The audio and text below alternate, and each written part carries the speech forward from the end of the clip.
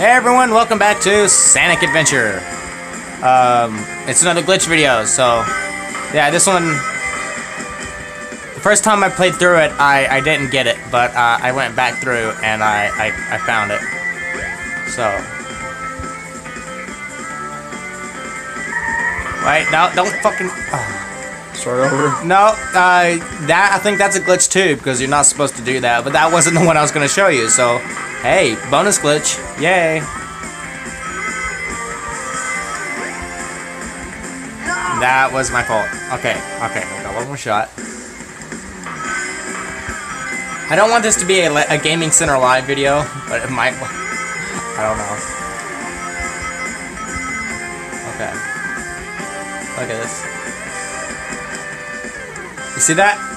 Yeah, that's happening. It's not doing what it did before. Oh, I'll get to it. Okay, it's right here. Okay. Okay. Yeah, it's wanting to go into the wall, but it's not at the same time.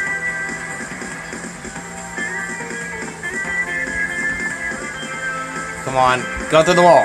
Go through the wall, damn it. It was doing it. Look at him. It was doing it so simply earlier.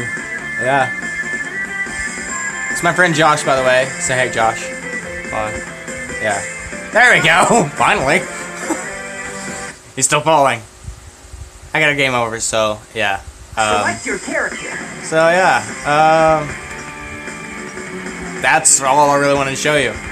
So it probably won't be long before I show you another glitch video, but until then, see you guys later.